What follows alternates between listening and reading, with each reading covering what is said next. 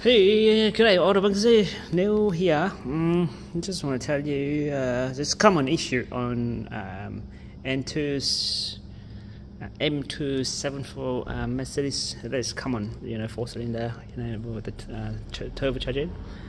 Um, this one's a C250. Um, uh, just uh, the cam sprocket. Uh, say what the Mercedes called cam adjuster so they have a spring in it.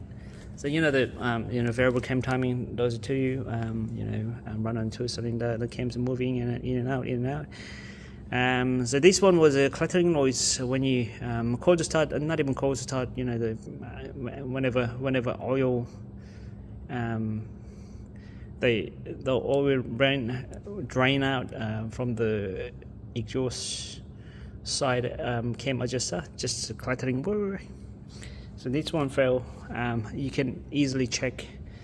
You have to open the um, lockham cover um, and then to check it. Um, I have a video shown. Um, anyway, uh, so then they play some one as well. I do this one and the tension as well. Um, all the guys as well. Um, but yeah, this one was a fail. Got a thousand bucks. Genuine is a sixteen hundred. So.